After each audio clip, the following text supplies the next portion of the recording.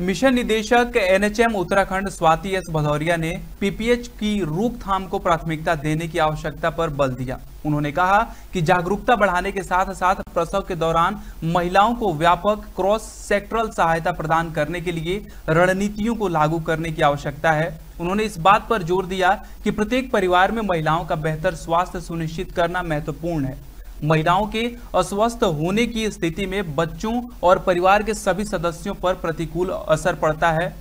उत्तराखंड में मातृ स्वास्थ्य के उत्थान के लिए स्वास्थ्य इकाई के साथ साथ सामुदायिक स्तर पर विभिन्न गतिविधियाँ आयोजित की जा रही हैं ताकि प्रत्येक गर्भवती महिला के लिए बेहतर स्वास्थ्य सुनिश्चित किया जा सके और मातृ मृत्यु दर में अपेक्षित कमी लाई जा सके। उत्तराखंड से स्टेट हेड अवनीश जैन की रिपोर्ट।